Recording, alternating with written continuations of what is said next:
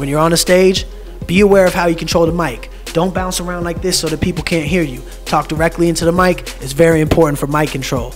Proper mic technique and you're holding the mic right so that, you know, everybody can hear what you're saying, you know what I mean? A lot of dudes will just be real hype and the mic's going everywhere and you can't really understand them. Yelling in the mic, screaming in the mic, cuffing the mic, having the mic all wrong, making the mic real muffled. We really can't hear your voice, you know what I'm saying? It's about cadence, delivery. You gotta hold the mic properly. There's different things you gotta do. Learn your audience. You gotta understand that performance is not about yelling and screaming. When you're in the studio, it translates different from when you're on stage. Keep that in mind. We'll have a sound man there to adjust as we go, but you always want to be aware of how you sound on the mic and how consistent you are with the level that you keep it at is going to make a big difference in how your performance sounds to the crowd.